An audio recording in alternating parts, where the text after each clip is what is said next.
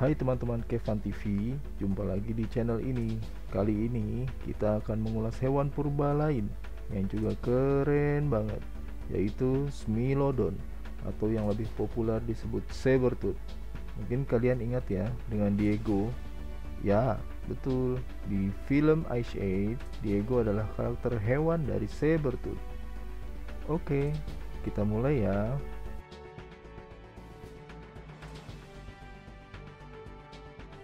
Smilodon atau sabertooth adalah sejenis kucing bergigi pedang yang hidup di Amerika Utara dan Selatan selama akhir zaman Pliocene hingga akhir Pleistocene.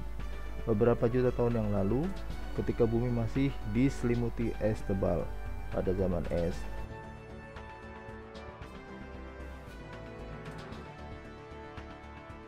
dan populasi terakhir sabertooth diperkirakan telah punah 10.000 tahun yang lalu.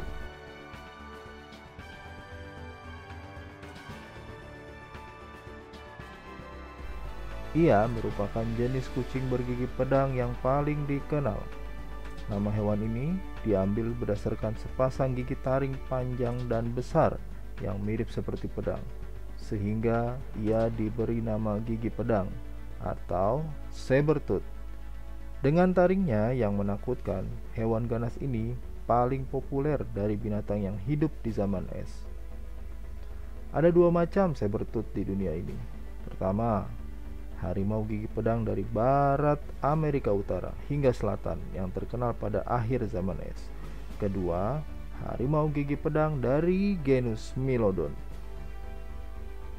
Dibanding dengan kucing besar yang lain yang masih hidup, Smilodon atau Sabertooth memiliki perawakan yang kekar dan kuat, dengan lengan dan kaki yang sangat berkembang. Hewan purba ini dapat tumbuh hingga sepanjang 15 kaki.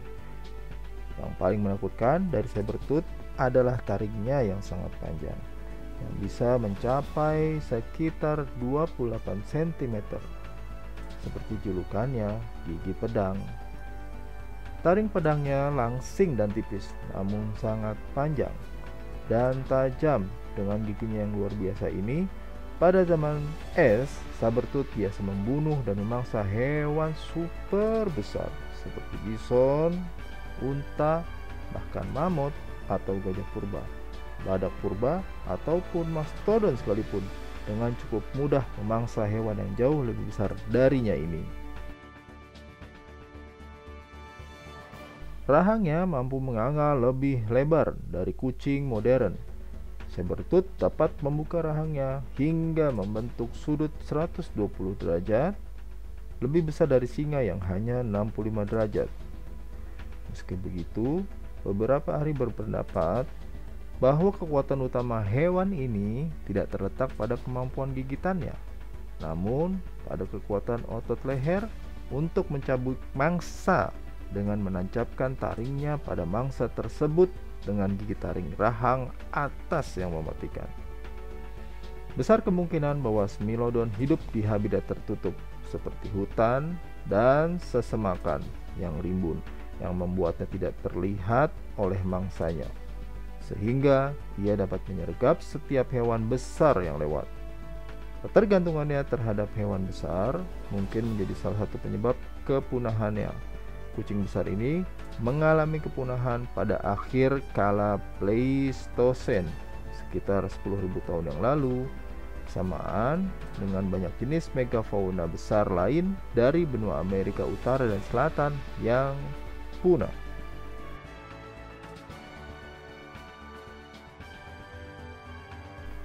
Koleksi terbesar dan terbanyak ditemukan di wilayah kubangan aspal La Brea di Los Angeles Tempat ini memang terkenal dengan kekayaan fosil megafauna dari kala Pleistocene. Fosil tengkorak Smilodon atau Sabertooth berukuran 31 cm, memiliki dua gigi taring seperti pedang besar, dan ini bergerigi dan berbentuk oval pada penampang. Banyak fosil Smilodon atau Sabertooth telah ditemukan dengan gigi taring patah ada tiga spesies Milodon atau sabertooth yang diketahui, Yang pertama adalah Smilodon gracilis.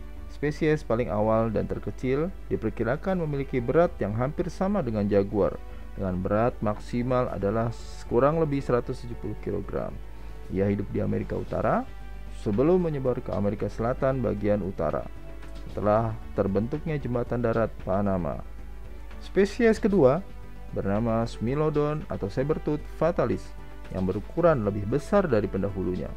Memiliki panjang yang sama dengan singa, tetapi lebih sedikit dan lebih berat, sekitar 200 hingga 300 kg. Spesies ini memperluas wilayahnya hingga ke Amerika Selatan bagian barat. Spesies terakhir dan terbesar dan paling terkenal adalah Smilodon atau Sabertooth populator. Ia tinggal di wilayah timur Amerika Selatan dan berukuran lebih besar dari singa. Dengan panjang mampu mencapai 3 meter, tinggi hingga 1,4 meter dan berat 400 kg. Ia mungkin merupakan jenis kucing terbesar yang pernah hidup. Di Amerika Utara, Smilodon atau Sabertooth adalah predator puncak di wilayahnya, di mana ia berburu mamalia besar seperti bison, unta, kukang tanah, kuda, dan mamut. Namun, ia harus bersaing dengan beberapa jenis predator lain, seperti singa Amerika, serigala raksasa, kucing bergigi pisau, dan burung bangkai terator.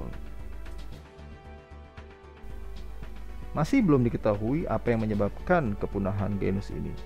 Tetapi kombinasi dari perubahan iklim, kemungkinan persaingan dengan manusia, dan kepunahan hewan besar yang diburunya telah berkontribusi pada kepunahannya.